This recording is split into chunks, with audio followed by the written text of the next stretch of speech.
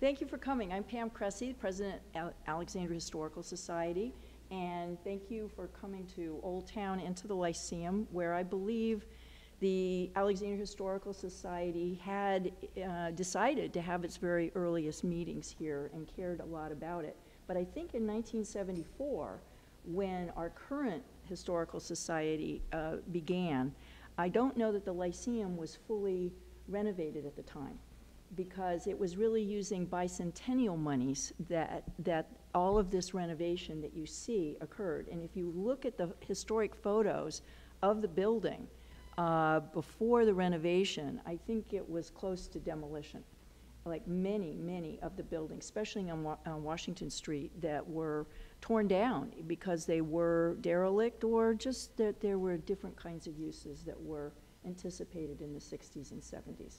So we're very fortunate to have the Lyceum as this public meeting space uh, operated by the City of Alexandria and Office of Historic Alexandria. So before our speaker this evening, I wanted to um, commemorate George Combs for a moment.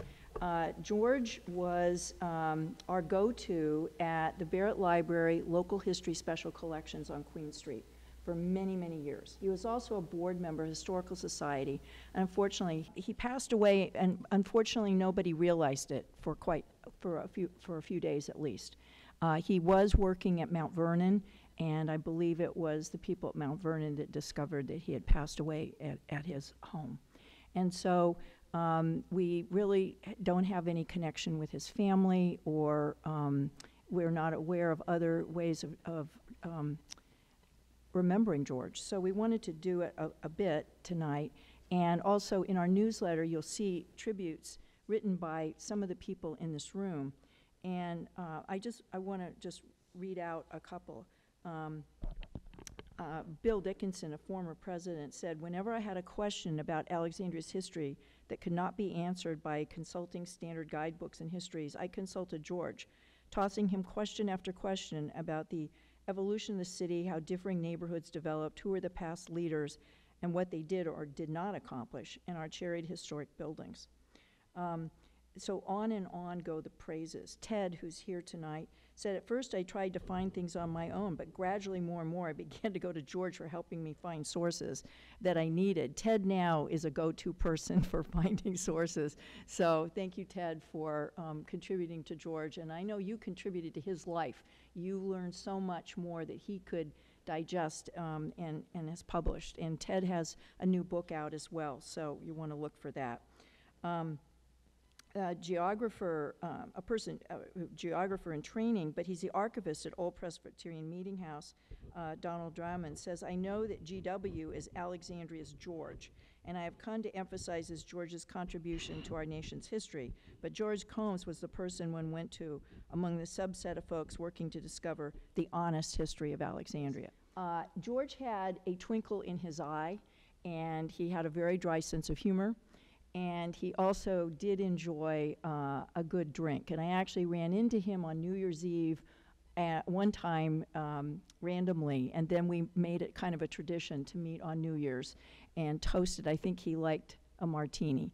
Um, so tonight we do have some sparkling ciders, and I actually walked out without my glass. But I'm wondering if we could just have a toast to George, uh, just hold up anything. I, that's all I'm doing. So to George, and I think in Alexandria we say huzzah, huzzah, huzzah to George, and thank him for everything that he's done for us that we're still learning from. So tonight our speaker, Tatiana, is going to tell us about the 500 block of King Street, which you may not know right off the bat. It's not like Fort Ward or Jones Point, a place like that. It is where the city courthouse currently is located, uh, if you have a reason to go there. Uh, also, La Madeleine's, Starbucks, and I believe an optician's uh, eyeglass store is there. Um, but when I started uh, in Alexandria 46 years ago, uh, that was the, the string that came with the job. Um, I thought it'd be really cool to be a city archaeologist because there really weren't many in America, if any, at that time. But I knew there were ones in Japan and Europe, and I thought that sounded wonderful. But they said you have to dig a city block uh, in three months. That, that was the string that came with the job. And I thought, I knew that was, I would fail. But I kind of, I guess, crazy youth, I thought I'd fail, but I'd fail quick. And then I could go on to study wonderful questions in Alexandria. Well, um, something happened. The construction did not take place on time. What's new about that? But it wasn't due to archaeology. So if anybody tells you archaeology held up the courthouse or the library or anything else, you tell them it's absolutely not true. But um, it got held up, and we could only dig six parking spaces at a time. Now, this was taken later, but they wanted to keep using the parking lot that was there because they had torn down the historic structures as a part of urban renewal. So if you can imagine it, the 300, 400, and 500 blocks were torn down. Um, three quarters of those blocks for urban renewal. And this was the last block left. And so we kept digging. And this was how the volunteer program started because there was just two people, Kathy Beidelman and myself. We got a, a small grant. Uh, we couldn't find too many trained people, so we put an article in the Gazette packet. Anybody who'd like to volunteer, dig privies, uh, classify and wash filthy, dirty pieces of glass, ceramic, animal bone, and seeds, or do historical research on microfilm, please call. Now, we thought we'd be lucky, maybe two, three, five, ten, if we were lucky. 150 people called the first week. A lot of people like privies. And I'd like to introduce you to a gentleman that showed up almost the first week of that ad um, and continued to dig in the 500 block. John, can you stand up? This is John Glazier, and he he may have excavated the materials that Tatiana is going to talk about tonight. Um, and uh, but we had to give we didn't let you stay down there very long because his passion was so great he could actually overdo it. So we had to winch you back up again. Um, we also, where, uh, well, it was Portner's Restaurant. I think it's changed now again on St. Asaph Street. That was the old fire station. We used that as the lab, but all the artifacts were water screened and washed before they came up. They were really filthy coming out of the deep privy wells. And they were carried by buckets over to what was a open lot, which is now kind of their covered um, atrium area of that restaurant and we water screened it. And at one point, uh, you know, there's a lot of dog walkers in Alexandria. A lady with a small white fluffy dog would come by there every day. I don't know why. And she complained that the materials coming out of the privies that were sloshing over the buckets got on the sidewalk and her dog might be damaged. So we're a dog friendly community we Clorox the sidewalk every single day. That was a volunteer job too. Um, over time, I don't know, Tatiana, do we have a current number on the collection size from the 500 block? Mm-hmm.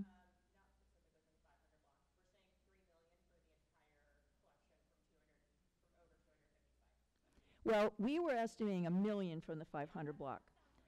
A million. Uh, now, that does include animal bones from diets and, and materials like that. But I don't think it includes every eggshell and every seed. So we did not. Uh, so, but I wanted you to realize the efforts that it took of hundreds of people to dig through summer, winter for a year and a half. And then Steve Shephard, one of our city archaeologists, did his dissertation on some of those materials.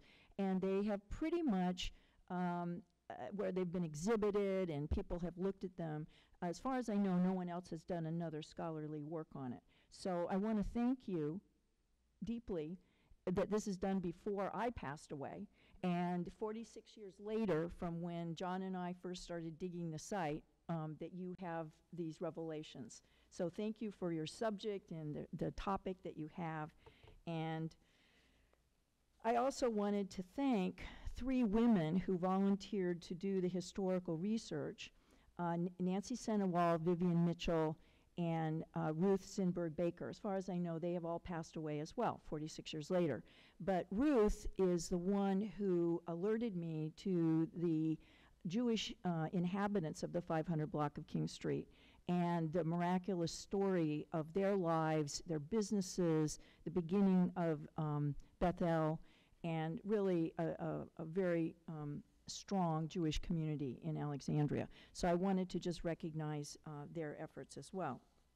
So now, uh, I wanted to, if I, I've got lots of pieces of paper here um, to be organized. Um, so I wanted to um, introduce Tatiana Niculescu. Ni- yes? Niculescu. I have practiced No, it, it, it, it's not too many syllables, though. I just need to say it more times. Um, Tatiana is one of the ci- city archaeologists and is the collections manager for these three million artifacts. Um, and she holds her bachelor's degree in physics and archaeology from UVA, and uh, her master's and doctoral degrees in anthropology from the University of Illinois Urbana um, Champaign. Her work focuses on how individuals and communities constructed social identities through things and space, and the ways in which people navigated a rapidly changing racial landscape at the turn of the 20th century. Um, and so that's our talk for today. Uh, and somehow we looped out of your picture, but she's right here, so you get the real thing. Um, and I don't think your photo was touched up at all. I think you are just as wonderful and, and exciting looking as your photograph. So thank you very much.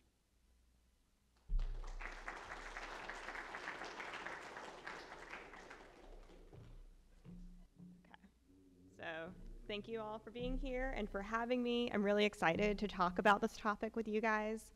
Um, so, like Pam said, I'm Tatiana uh, Niculescu, um, and I'm one of the city's archaeologists. Um, and yeah, I manage about 3 million artifacts um, from over 250 archaeological sites from across the city. Um, I'm really excited to take you on a brief journey through one really small part of Jewish Alexandria history. Um, the research we'll be chatting about tonight is part of a larger project that sought to take another look at older archaeological collections in order to try to answer current anthropologically driven questions.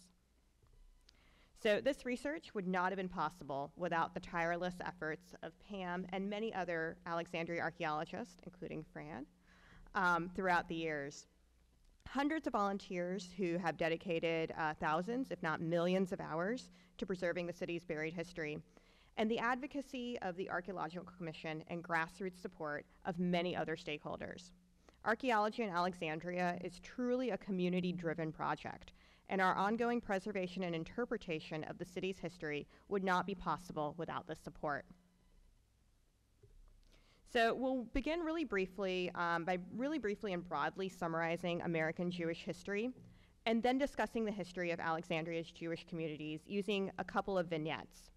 Uh, we will then turn our attention to the Rosenfeld family, who lived at 518 520 King Street during the first two decades of the 1900s.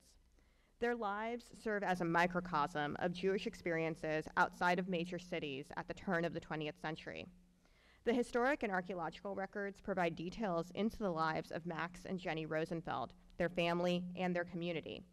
Specifically, we will learn more about the economic choices they made, how the family carefully balanced tradition and innovation while creating new cultural paths for themselves and their community, and their somewhat fraught position within the changing racial landscape of the early 20th century. So, in the summer of 1856, Rabbi Isaac Leeser traveled to Alexandria and reported that this town's ancient uh, residents are all in good circumstances. Um, an important religious and uh, cultural leader, Leeser viewed the freedoms possible in the United States as an unprecedented opportunity for spiritual revitalization and cultural excellence. He shaped American Judaism by authoring and translating several pivotal theological works, publishing the first American Jewish periodical, the Occident newspaper, and founding Maimonides College in Philadelphia. Leeser tirelessly advocated for uniting disparate Jewish communities around shared traditional beliefs and practices in the face of the growing reform movement, and he had really good things to say about Alexandria when he visited. In 1865, about 10 years after Leeser's visit, the Jewish Messenger newspaper noted that Jewish matters have improved beyond description in the past three years in Alexandria after the arrival of federal troops during the Civil War. Over the next few decades, a small group of German and later Eastern European Jewish families came to call Alexandria home. They started businesses along King Street, established a benevolent society, cemeteries, and synagogues, forming a thriving community. So before we jump back to Alexandria, let's talk really, really briefly and broadly about what's happening uh, with Jewish immigration to the US. Um, and these are broad strokes. This does not apply to everybody that ever came to the US, but it is sort of really broad, but it provides context for discussing Alexandria later. So, Jewish immigration to what becomes the United States um, occurred in three main waves between the colonial period and the 20th century. In fact, Jewish migrants have existed in the Americas for almost as long as there has been permanent settlement by Europeans in the Western Hemisphere. For example, Joachim Gans, the earliest known Jewish individual residing in a British colony in the continental US, that's a lot of qualifiers, uh, arrived in 1585 um, on one of the Roanoke colony expeditions. Um, the first period of Jewish migration from the early 1600s through the early 19th century saw the arrival of more men like him, including Elias Legardo of Jamestown in 1621 and John Levy and Moses Nehemiah, who settled in present day James City and York counties, respectively. These individuals tended to be fairly wealthy, fairly educated, skilled, or well connected, and had some form of social or economic capital that was useful for the fledgling British colonial project. They were mostly Sephardic and cosmopolitan, with connections throughout Europe and the Americas. By the late 18th century, Jewish residents in Virginia also enjoyed some freedom from religious persecution after the introduction of the Virginia Statute on Religious Freedom. This first wave of migration is really fascinating, but not particularly useful when talking about Alexandria. If you want to learn more about it, there are other books out there on this topic that I'm happy to provide recommendations. The second wave um, of migration consisted of German or Central European Jews who arrived from the 1840s through the 1880s. Political turmoil and economic uncertainty in the 1840s in continental Europe drove a large number of people, both Jewish and not, to migrate to the United States, where, they were more, where there were more economic opportunities and the promise of religious freedom and political stability. In fact, Germans were actually the second largest immigrant to the US after the Irish in the 19th century. For example, in 1853, nearly 35,000 German immigrants arrived through the port of New Orleans alone. And by the start of the Civil War, 50,000 German Jews lived in New York City, and up to 10,000 lived in Cincinnati. The majority had been skilled artisans or modest merchants back in Europe. Upon their arrival to the United States, many attempted to set themselves up in business. Sometimes this meant beginning as a transient dry goods peddler before establishing their own stores. The second wave of Jewish immigrants tended to be somewhat educated and skilled, and mostly from Central Europe, and likely to be reform or reform leaning. During the final major period of migration from the 1880s through the 1920s, hundreds of thousands of Eastern European and Russian Jews arrived to American shores, many fleeing the volatile political situation of that region for the relatively stable post Civil War United States. This wave of immigration was cut off um, by new national quotas that were instituted in the 1920s that sought to limit undesirable immigration from Southern and Eastern Europe that threatened prevailing American racial ideologies. Many of these immigrants were relatively poor former peasants who lacked much secular education. They were often emigrating from Russia and surrounding countries to escape violence in the form of pogroms and other legal and economic restrictions on Jewish life. Many, though not all, came from what is called the Pale of Settlement, which is actually what is in that map right there. Um, that is now uh, Western Russia, Belarus, and Poland, um, and surrounding areas. Um, and these were areas in which, um, beginning in the 18th century, uh, Jews were legally authorized to live in these areas in Tsarist Russia. Although Ashkenazi, many of these new immigrants held more conservative beliefs than their primarily uh, reform or reform leaning Central European predecessors. Um, in larger cities, this group of immigrants tended to be working class, often marginalized and impoverished. This is the really popular stereotype of New York's Lower East Side um, at the turn of the 20th century, uh, peddlers and pushcarts, um, and that that is sort of perpetuated in um, books and movies and sort of popular media. Um, however, these big city experiences are not the only ones possible for new immigrants. Um, and focusing on smaller communities um, is more applicable when drawing parallels to Alexandria. Um, historian Lee Weissbach, uh, his study of small town Jewish communities at the turn of the 20th century, suggests that small town Jews, be they Central or Eastern European, uh, tended to be more or less firmly middle class. They were often merchants, wholesalers, or involved in the liberal professions. Second, small town Jews saw themselves as integrated within their broader community. They were members of both uh, Jewish organizations and secular or even Christian ones when they were members of YMCAs. Lastly, patterns of religious worship, marriage, and burial were different and sometimes creative in small towns due to the limited number of Jewish individuals at any given point in time. And this is a plug for the Museum of the Southern Jewish Experience that opened in New Orleans a couple years ago. If this topic is of any interest to you, that is a wonderful museum. I had the opportunity to go earlier this year, and it was like walking through my research in museum form. Um, so, Jewish settlement in Alexandria generally followed these wider trends with some local twists. Um, several excellent detailed histories of Alexandria, Northern Virginia, and DC Jewish communities already exist. Um, so I'm not going to rehash all of these in detail here. This is just a sampling of some of them. Um, instead, I really want to use a couple of vignettes to briefly illustrate, illustrate the history of Jewish settlement in Alexandria through the 1920s. So, most histories begin in the mid 19th century but some evidence suggests that there may have been a few Jewish residents here in town before then. Other cities around the state, including Norfolk and Richmond, had growing Jewish communities in the late 18th century. So it's pretty likely that an important port city like Alexandria would have too. Uh, one example is Jacob Cohen, who was actually a Revolutionary War um, cavalry captain who is identified as being Jewish um, in some early histories of the state um, including this one, um, The Jews of Virginia from the Earliest Times to the Close of the 18th Century, which was published in 1911. Um, so Jacob uh, was likely born in Cumberland County um, sometime around 1740, uh, but little else is known about his upbringing before his military service.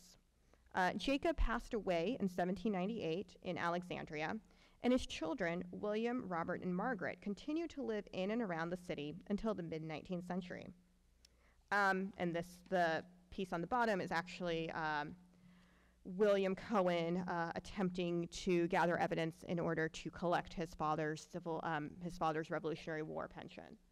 Um, so the historic record, though, seems to indicate, though, that Jacob's children um, did not see themselves as Jewish and did not participate in any Jewish organizations as adults.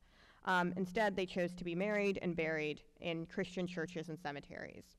Um, Jacob Cohen's depart- children's departure from their father's religion, uh, maybe because no Jewish organizations existed locally, um, or because they had um, of their own personal religious convictions, um, or because it was politically or socially expedient to be Christian, um, which we do see in other places around the state where people will convert in order to be elected. Um, the Cohen siblings' uh, reasoning may be lost to the past, um, but they really provide an interesting example uh, where further historical, historical research um, could lead to more information about early Jewish Alexandrians. So, few continental European immigrants settled long term in Alexandria before the 1830s. Though Alexandria was an immigration port of minor importance in the 18th and early 19th centuries, uh, most immigrants, including um, a wave of Germans, quickly moved west. Um, as manufacturing and shipping expanded and diversified between the 1840s and the Civil War, Alexandria's population also expanded. The city experienced its most rapid population growth of the 19th century between 1850 and 1860, growing by 45% to include 12,652 residents in 1860. Um, and you actually are seeing that too here with the number of um, estimated number of Jewish individuals drawn from a couple of different sources. That is also increasing from sort of 1850 to 1870 pretty steeply. So Alexandria's Jewish community also grew quickly during this time, beginning to organize itself to meet its most pressing needs. Members founded the Hebrew Benevolent Society in 1857, and the society's first order of business was purchasing a plot on Wilkes Street for Home of Peace. Um, the 1850 census, which is the first to list every free person residing in a household by name, recorded 75 uh, German born individuals.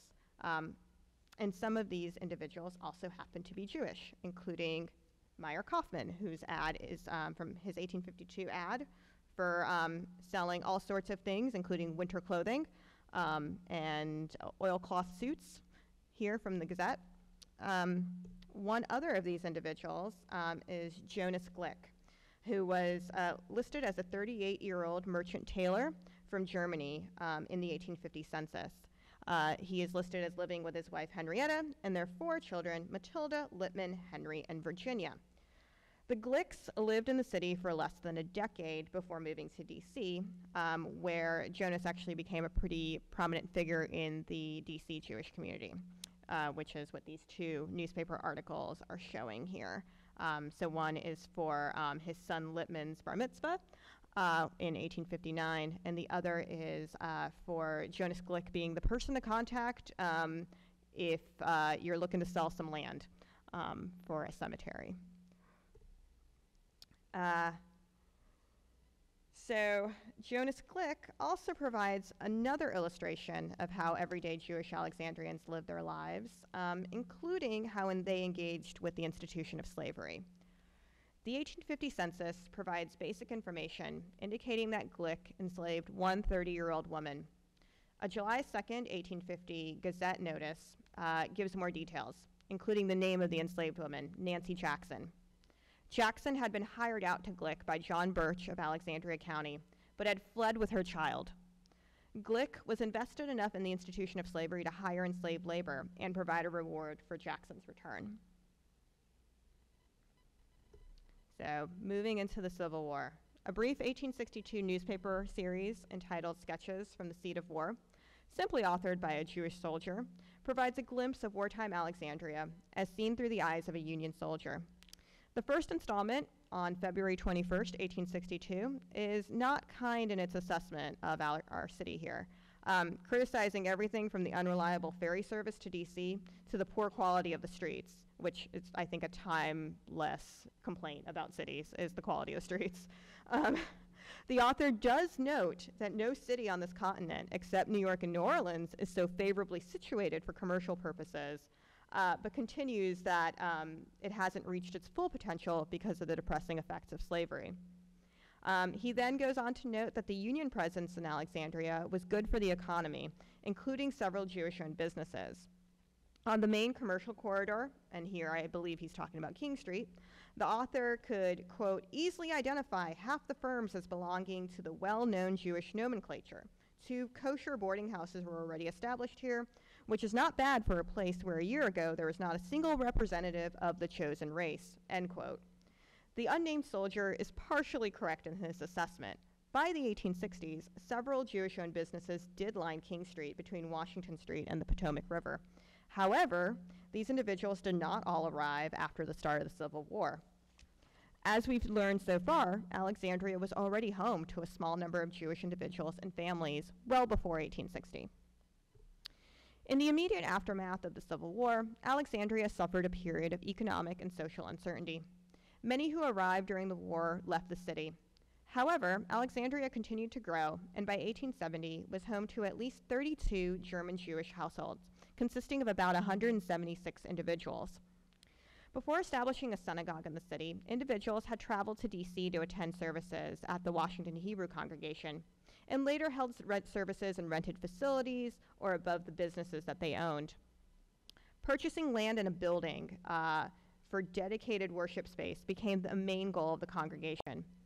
The community raised funds in a variety of ways, including fundraisers like a Purim Ball, which is actually what this first annual ball probably is here in 1871. Um, eventually, the congregation succeeded in its goal and built uh, the, a new synagogue on Washington Street, um, celebrating its dedication in September, on September 1st, 1871.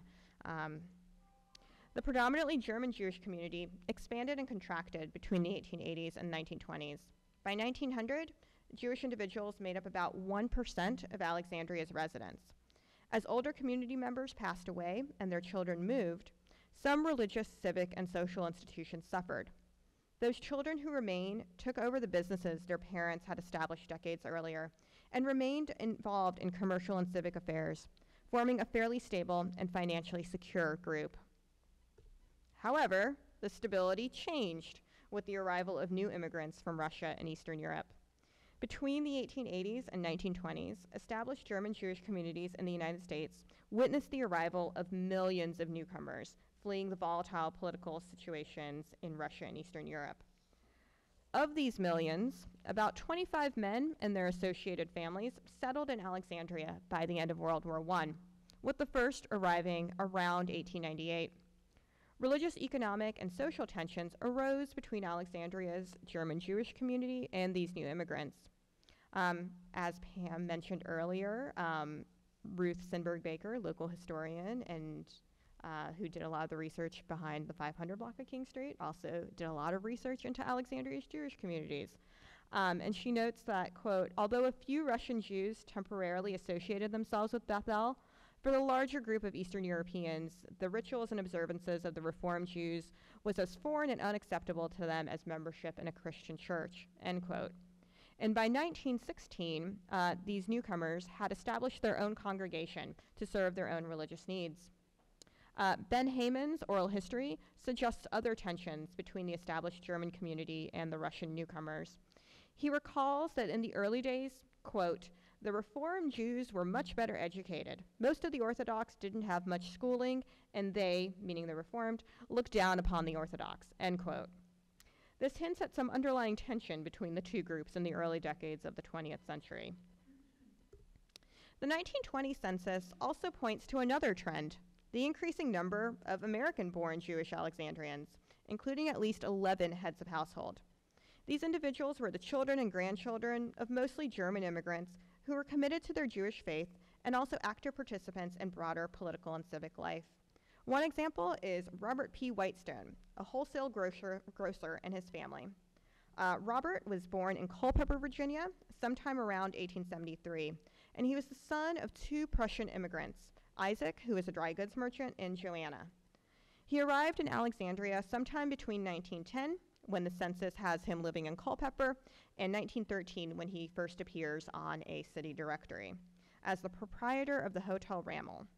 One of Robert's sons, Isaac, seems to have identified as Jewish his entire life, having a bar mitzvah in 1920 and eventually being buried alongside his family at Home of Peace. Um, and we actually have um, Isaac Whitestone's marriage certificate here from Richmond. Um, he is, you can see at the bottom, certificate of time and place of marriage, and denomination is clearly written Jewish. So Isaac seems to have identified as Robert's son Isaac, identified as Jewish from sort of birth till death, um, and everything in between. Um, and otherwise, though, Robert's other son Julian uh, was actually married in a Christian church and was buried at St. Mary's Catholic Cemetery. His path and changing religious affiliations were more like those of the early 19th century Cohen family that we discussed earlier. Um, these two brothers illustrate different paths for Jewish Alexandrians. One maintained his Jewish identity, while the other drifted away from his ethnic and religious roots. Julian and Isaac Whitestone show the complexity of identity and how it can change over time. So I hope these vignettes sort of provided a glimpse into the history of Jewish Alexandria, and um, hopefully they helped set the stage for meeting the Rosenfeld family, who lived at 518 520 King Street in the first two decades of the 20th century. Evidence of their lives um, lingers in the historic record um, and in the material remains excavated by archaeologists and volunteers in the late 1970s. So, in October of 1903, Max Rosenfeld announced the grand opening of his new dry goods shop in Schwartz's old stand. Pretty, uh, prof- loudly here in his advertisement. He is telling you that he is occupying somebody else's space. Um, because probably that location meant something to Alexandrians living at the time. They knew where it was. Um, the location had previously been home to Isaac Schwartz and his family, um, who resided there since the 1850s. Um, Schwartz was a successful dry goods merchant and an active member of Alexandria's early Jewish community. Um, and he'd only recently passed in 1898, leaving the property and the business to his son Samuel, who continued to occupy the property until about 1903. The Rosenfeld family, Max, Jenny, and their son Norman, rented the three story brick structure from the Schwartzes. So, born in Alexandria to German parents, Jenny Rosenfeld, maiden name Eichberg, was well connected to her community. Her father, Isaac Eichberg, gentleman that we see in this picture, um, actually helped found Beth El Hebrew Congregation, and her mother, Babette, was well respected in Alexandria, noted for her philanthropy and benevolence. Jenny's husband, Max, was born around 1861 or 1858, if you believe his death certificate, in Prussia. The 1920 census indicates that he immigrated to the U.S. in 1881 and was naturalized in 1892. He's first mentioned in Alexandria at the time of his wedding in August of 1893. Um, the Alexandria Gazette and the Evening Star uh, both detail the small and private event performed by DC's Rabbi Stern, quote, according to the Jewish faith, end quote. The articles also mention that Max is from Trenton, New Jersey, and that the young couple intended to settle there and not Alexandria after the wedding. The 1895 New Jersey State Census confirms this move, listing Max, Jenny, and their young son Norman living in Trenton's First Ward.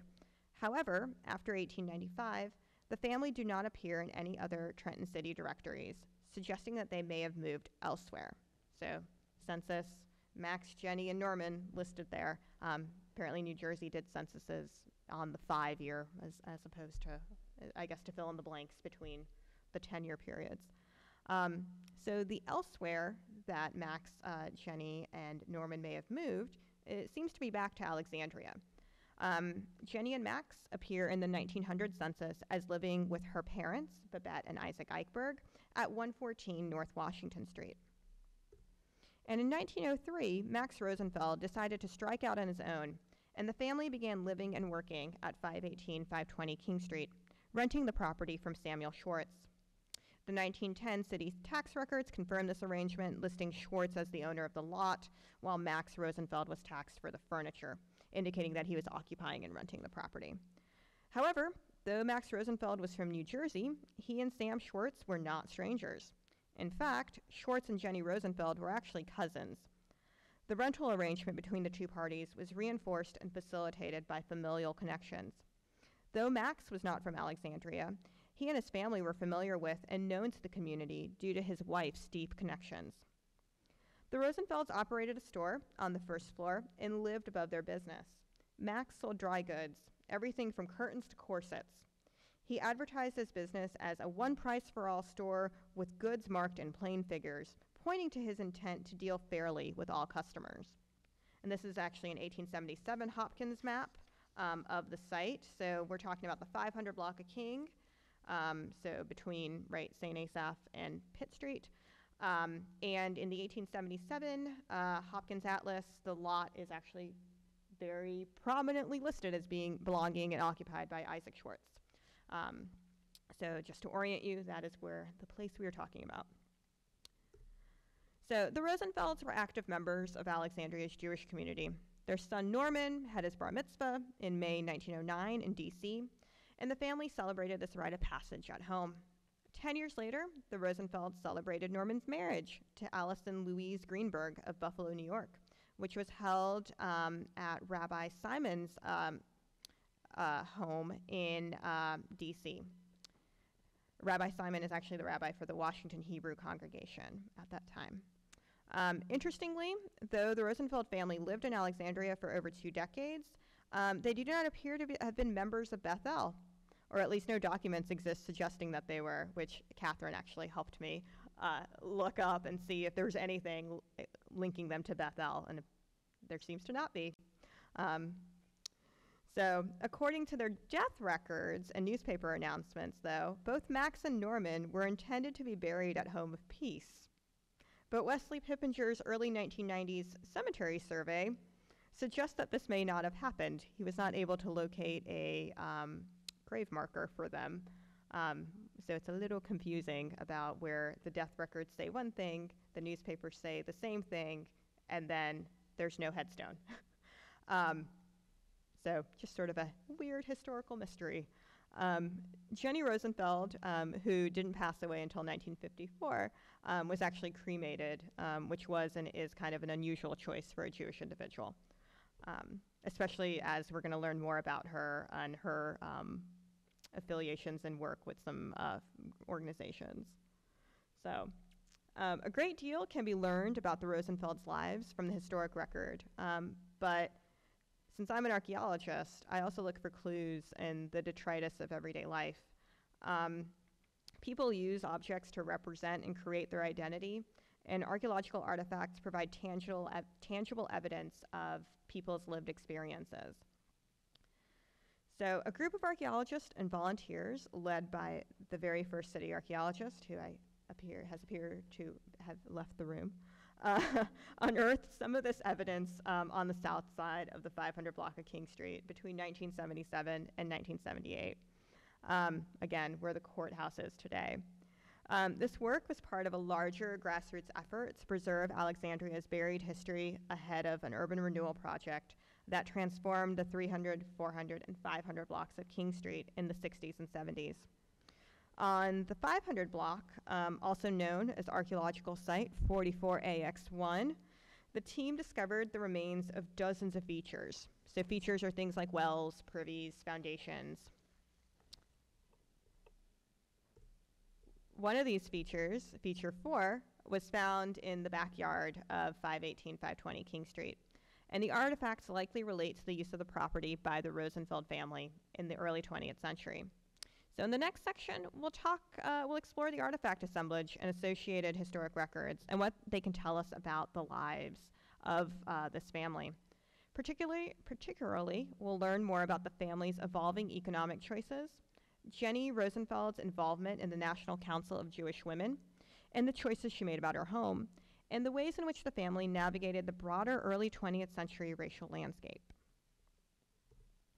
So Max Rosenfeld never did purchase 518 520 King Street from Sam Schwartz. However, between 1914 and 1916, the Rosenfelds did acquire four sets of properties in Alexandria, improving the buildings and renting them out. Their purchases included the former slave pen at 1315 Duke Street, which had been transformed into a boarding house and apartments since the end of the Civil War.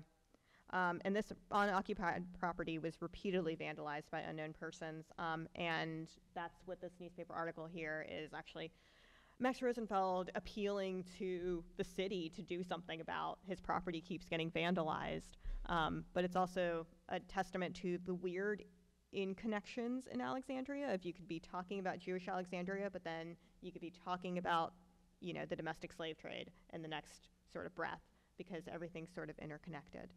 Um, in 1916, Rosenfeld purchased 608 610 King Street with ambitious plans to erect a modern two story building on the lot. Um, by January 1917, he had leased this property to the Woolworth Company for 15 years, who actually demolished the existing uh, structure and began building a new store. Um, Max and Jenny Rosenfeld expanded their economic options by shifting from focusing solely on dry goods um, and looking more towards real estate development, leaving a legacy for their son Norman. Um, and actually, when Norman passes away, um, much too early, quite young, um, he's listed as being um, in real estate and not in the dry goods business like his father, right? So that is, there's, there's sort of building capital and wealth there that's happening. Um, the archaeological record also speaks to the Rosenfeld family's economic choices. Uh, they used their capital to reinvest in the future and not necessarily to acquire expensive things. Overall, they consumed fewer high value goods, such as foreign porcelain, than their non Jewish neighbors of similar um, economic status.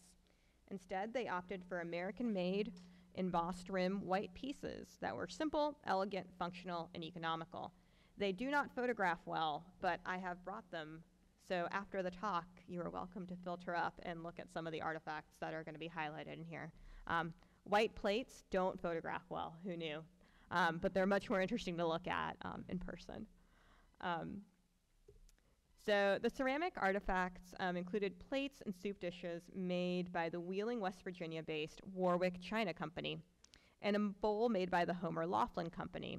So Homer Laughlin is really best known for Fiesta ware, um, but they made a lot of other things too. Um, both types of ceramics were advertised in the DC papers, um, and Warwick China, the more obscure of the two types, appears in local advertisements by 1899 suggesting that these ceramics would have been readily available locally, perhaps at S. Kahn, Sons & Co. or Goldenberg's in D.C. So both Warwick China and the Hudson line of Homer Laughlin ceramics were designed to look like more expensive um, British refined white earthenwares or French porcelain.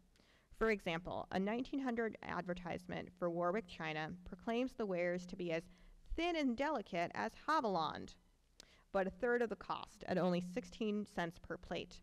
So Haviland, if you don't know, was founded in the 1840s, and it's best known for manufacturing really delicate uh, Limoges porcelain.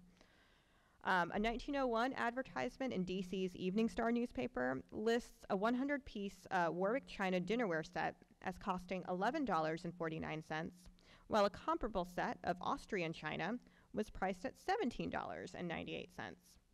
The American-made products were more economical and readily available, allowing middle-class households to emulate more expensive tableware. The Rosenfeld family appeared to have been making conscious choices um, to purchase these items, um, perhaps directing their economic resources elsewhere, like buying real estate. The artifact assemblage also included this very dapper uh, porcelain Moonman figurine, who is also here with us tonight. Um, it is about five inches tall, powder blue, and depicts a crescent moon with a face wearing a suit rising out of what appears to be clouds, and there are two white doves possibly kissing near his chest. It doesn't have a maker's mark um, anywhere on the body, but it was possibly manufactured by German company uh, Schaefer and Vater.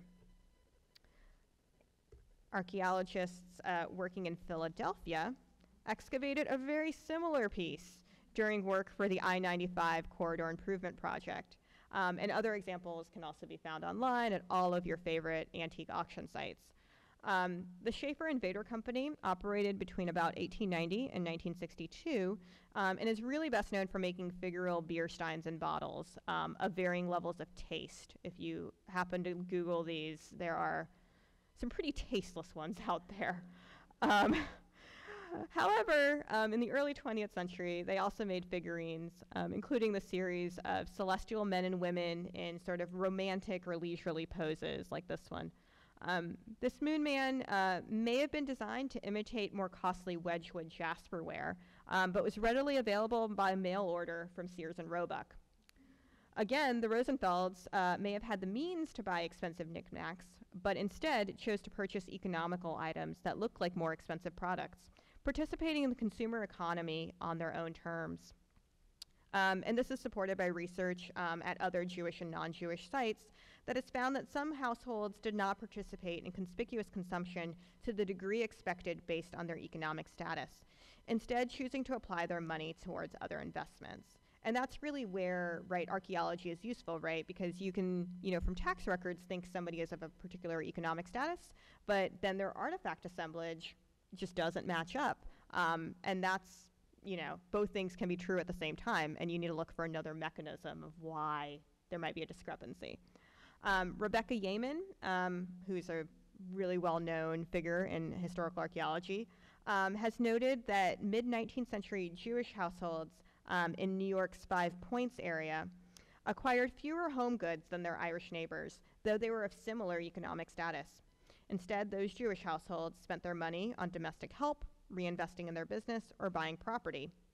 Um, the ways in which the Rosenfelds chose to spend their extra money are pretty consistent with that um, and illustrate that not all households prioritized using their wealth um, to buy expensive things. All right. So I said we were going to talk about why it's weird that Jenny got cremated. Um, well, it's weird because she was uh, a pretty uh, involved with the National Council of Jewish Women. Um, so, newspaper and archaeological remains also provide a glimpse into Jenny's religious and civic life and the ways in which she may have balanced tradition with newer progressive ideas in the early 20th century. The written records tell us more about her public position within Alexandria and beyond, um, while the archaeological remains, particularly uh, faunal remains, animal bones, help us determine more about her family's private life. Historic records indicate that Jenny uh, was an active member of welfare organizations, continuing her mother's uh, legacy of philanthropy. Her participation aligned with broader trends seen in the first few decades of the 20th century, right? Middle class women expanding their roles beyond the household at that time. So think social reformers, voting rights advocates, all of that. Um, this fits right into that. Um, in the 1910s, Rosenfeld served as secretary pro term and later president of the Alexandria chapter of the Council of Jewish Women, an organization loosely linked to other women's organizations of the time. So, this group sought to redefine the role of Jewish women as public and active participants in religious and cultural life. The council hoped to combat assimilation by educating women about their faith in order to strengthen Jewish homes and preserve Jewish heritage. As president of the local chapter, Rosenfeld advocated on behalf of European Jews caught in the crossfire of World War I, helping raise money to ease their plight. Her leadership suggests that she was an active participant in creating a Jewish world for her family and community. Additionally, the Council provided women with new opportunities to study, debate, and interpret religious doctrine that had previously not been open to them in such an organized manner. In 1913, Jenny Rosenfeld hosted Sadie American, the executive secretary of the national organization. And that is the lady we see here. Uh, American, a prominent radical, um, a proponent of radical Reform Judaism, was critical in shaping the Council's social reform and immigrant assistance projects. Historic records do not indicate how philosophically aligned Sadie and Jenny may have been, but the fact that Rosenfeld hosted American suggests that there may have been some affinity. The Council of Jewish Women transcended the local synagogue, providing American Jews with networking opportunities beyond their immediate community. Jenny Rosenfeld's active participation both reflected her identity as a Jewish woman, but also served to shape and reinforce what exactly that meant. It linked her to like minded women across the country expanding her social network beyond the immediate region or existing social and economic relationships. Archaeological evidence points to subtle tensions within the Rosenfeld household between new interpretations of what it meant to be Jewish and more conservative practices rooted in tradition. Ceramic artifacts and animal bones suggest the nuanced ways in which this household, likely led by Jenny's preferences and ideas, interpreted kosher rules. There is no evidence that the Rosenfelds had two distinct sets of dishes, one for meat and one for dairy, as would be expected if they stri- kept strictly kosher. Instead, like many other Jewish, uh, German Jewish households across the United States at the time, they used minimally decorated, refined white earthenwares, like the ones mentioned previously. On the other hand, the animal bones do indicate that Jenny was trying to maintain the semblance of a kosher diet for her family, um, connecting them to a millennia of Jewish forebears the household consumed significantly less pork and more chicken than their non Jewish neighbors of similar economic position. The Rosenfelds appeared to have been intentionally avoiding consuming pork, a food with great deal of symbolic significance, right? Um, it's not that they're not consuming none, it's that they're consuming less, right? Um, so this is sort of in the weeds nerdiness about faunal remains. Um, NISP is number of individual specimens, so that's just individual number of bones.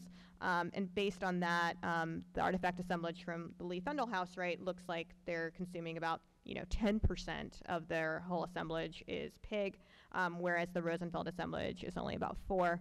Um, and when you break that down to minimum number of individuals, so that is the minimum number of animals that can be represented by the artifact assemblage, uh, the Rosenfeld assemblage contains evidence of only one, of at least one pig, uh, while the Lee Fendall assemblage has uh, the remains of at least six pigs.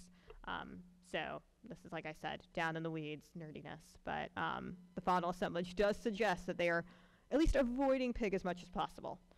Um, So um, the Rosenfeld household also appears to um, have preferred uh, cuts of beef from the front of the animal, um, but did not exclusively consume these cuts. Um, kosher rules govern which portions of an animal are acceptable for consumption and how an animal should be butchered and processed.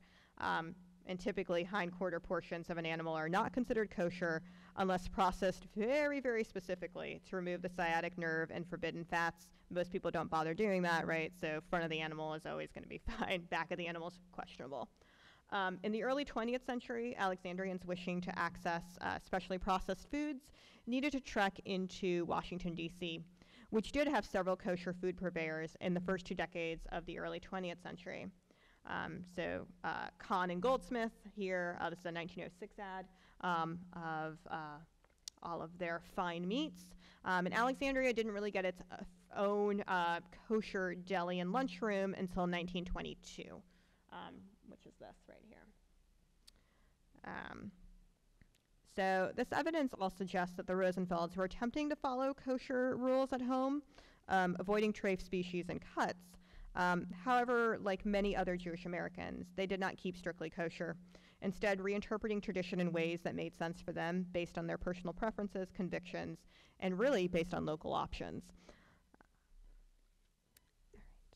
So, finally, um, the American racial landscape was a really complex place in the early 20th century, um, and American Jews occupied a fraught position within it. Um, historians Eric Goldstein and Deborah um, Weiner argue that understanding this racial positionality is even more important in a border city like Alexandria, where race relations were often much more complex than they were in either the Deep South or in the North, um, and that these things changed over time, often rather quickly.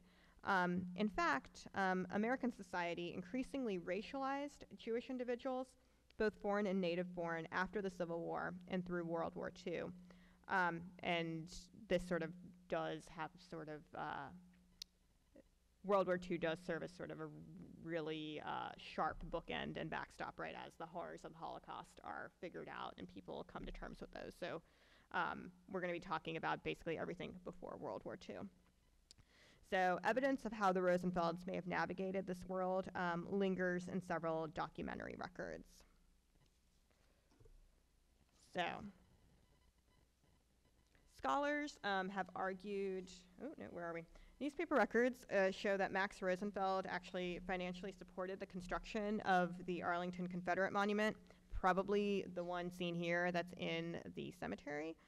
Um, scholars have argued that these monuments were intended to intimidate African Americans, they're linked to incidences of lynching, and reflect a racist history.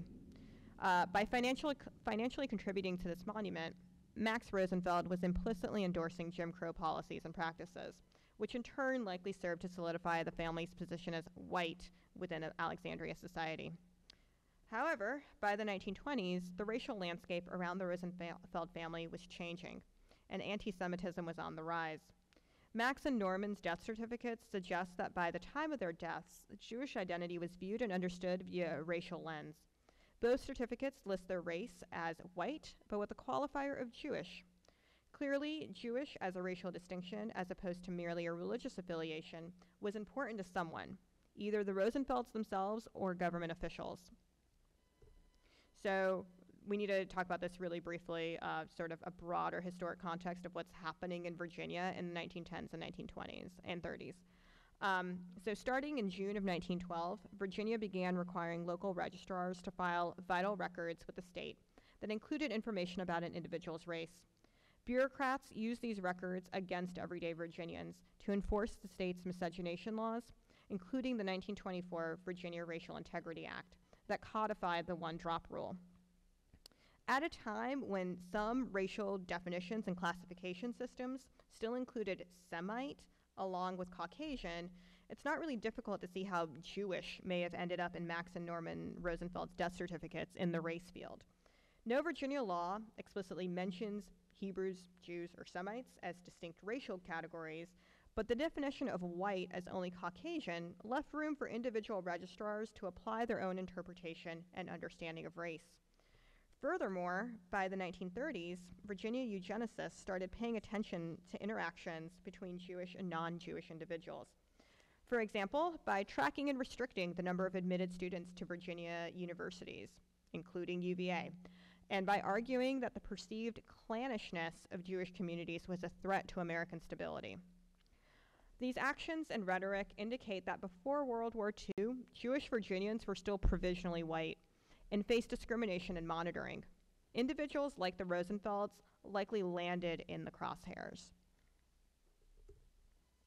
Taking this broader context into account, the logic behind the racial distinction on Max's 1926 death certificate is still unclear. The main sections of the certificate were typed, making it difficult to match up handwriting.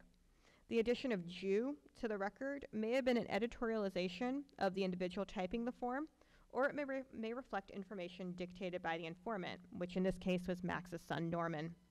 The informant was typically the person responsible for providing as much accurate information as possible to the personal and statistical particulars field um, on the document.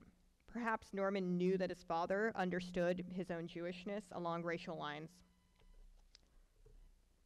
The handwritten Jewish over the typewritten white on Norman's 1929 death certificate suggests that someone wished to erase or qualify Norman's white identity after the fact. The local or state registrar may be the most likely candidate to have altered this document after it was submitted by the informant, who in this case was actually Norman's mother, Jenny, um, and the attending physician. The handwriting of Jewish, uh, at least to me, most closely resembles the handwriting in the registration fields meant to be inserted by the registrar, but I'm not a handwriting expert, so I, I don't know. Um, and, but officials at this time were known to compare documents and fix discrepancies that they thought they saw. Um, Walter Plecker, who was the state registrar for many, many years, was notorious for going back and fixing people's certificates in order to try and impose what he thought was the uh, racial organization and hierarchy that made sense to him. Um, so it's possible that someone remembered that Max, so Norman's father, had been listed as white, common Jew, and decided that his son needed to carry the same racial designation, even though this is not the information that was provided by the informant. Um, so, the varied use of the race field on Virginia vital records in the first few decades of the 20th century um, is not unique um, to the Rosenfeld documents. Um, it occurs on lots of other birth and death certificates of many, many others. Um, and this inconsistency, inconsistency or confusion over who counts as fully white points to the inherent instability of socially constructed racial categories. The instability of the racial categorizations and new interest in monitoring the assimilation and upward mobility of Jewish individuals may have led a registrar to label both Max and Norman as racially Jewish, effectively putting an asterisk on their whiteness. Alternatively, perhaps it was the Rosenfelds' own wishes to be identified this way. In the early 20th century, some Jewish scholars, including Reform rabbis, defined Jewishness racially as a mode of political resistance and self defense. This strategy attempted to avoid the pitfalls and political connotations of explaining differences in ethnic terms that could appear traitorous or unpatriotic. Jenny Rosenfeld's involvement with the National Council of Jewish Women, noted earlier, suggests an above average identification with and interest in Jewish religion and heritage though with perhaps a progressive bent. Perhaps the identification as racially Jewish on these death certificates is also due to her influence and agenda, while still reflecting the prevailing power of racial thinking in the early 20th century. As we've seen this evening, the history of Jewish Alexandria is complex, both unique to this special city, while also reflective of larger national trends. The American Jewish experience is a rich tapestry that incorporates a vast array of identities and communities. The Rosenfelds and other Jewish Alexandrias were woven into this fabric, and this research contextualizes their unique experiences into the broader story of the diaspora. Max, Jenny, and many other Jewish Americans created new eco- economic opportunities, balanced tradition and innovation, while creating new cultural paths for themselves and their community, and navigated a fraught position within the changing racial landscape of the early 20th century. Historic documents help tell us some of these stories, but the artifacts excavated from 518 520 King Street provide tangible evidence that you can hold in your hand and imagine the world over 100 years ago. Thank you, and any questions?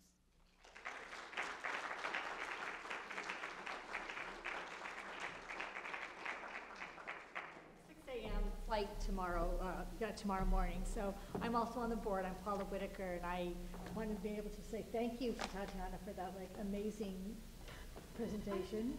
Um, She, obviously, she did her dissertation. She's written a number of articles, and I'm sure we will be hearing from her again. Um, I also wanted to remind folks that October 20th, um, the Alexandria Forum is going to be taking place here from, um, I think, like 9 to 4, and it's going to be about the waterfront. Um, It's uh, $60 or $40 if you are a member of any kind of OHA organization, so it's a great incentive to join. Um, Also, our next meeting, the Alexandria Historical Society meeting, will be um, October 27th, whatever that last Wednesday is of October. And we will also be talking about the waterfront, and it'll be Abby Schreiber, who um, has been working for the past, uh, I think, like more than a year, really looking through deeds and records and, you know, resources about what was going on in the waterfront. So again, Tat- Tatiana's artifacts are here. Welcome to look at them. I believe there's still some refreshments. And thank you for coming to our first meeting of this season.